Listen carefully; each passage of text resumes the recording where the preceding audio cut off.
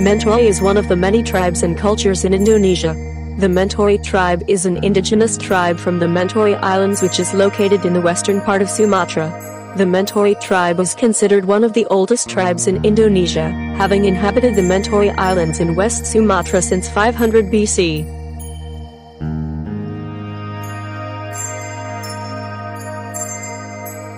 Mentawai tribal women on Siberut Island, West Sumatra, have a tradition of grinding their teeth or sharpening their teeth. The tradition that has been passed down from generation to generation is believed to be one of the signs of a woman reaching adulthood. In addition, this tradition is also believed to make women more beautiful and charming. The tools used to sharpen teeth are usually made of iron or wood.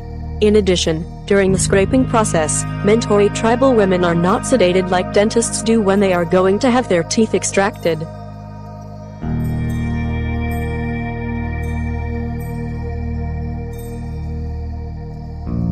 In addition to the tradition of grinding teeth, the Mentawai people are also known to have a tradition of decorating their bodies with tattoos. According to the beliefs of the Mentawai tribe, humans have two forms, namely a spirit and a body that will not perish.